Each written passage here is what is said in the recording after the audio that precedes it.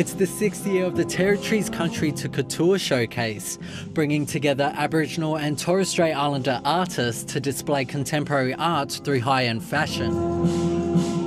This year's collection is bigger, with the models hitting the runway tonight.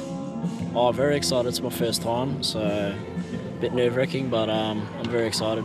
I feel really at home, like I'm not nervous or anything, but it feels like special to me. Wiradjuri woman Denni Francisco has been a fashion designer for three years and is excited to see Indigenous art come to life. I I think that um, the light that's being shone on Indigenous fashion right now is is uh, it's timely, and we certainly have a space in the Indigenous uh, sorry in the in the fashion space, but I do look forward to the time where it's not something that's unusual.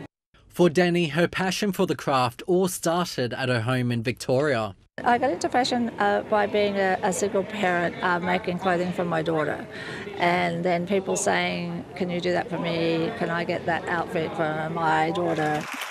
Now her work is being recognised across the country, with her receiving the Fashion Design Award last night at the National Indigenous Fashion Awards. I'd like to thank my family. Uh, family and community is everything.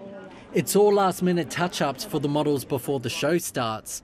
But for Kamika, this experience has been extra special. The culture and getting to be a part of it, and as well as like getting to be around people and meet new people. Bringing culture to life on the catwalks of Darwin. Peter Lacey, ABC News. Still to come this hour, the life threatening legacy of the mouse plague. The virus is um, passed on from rodents. I was the first person ever to contract it in, in Australia.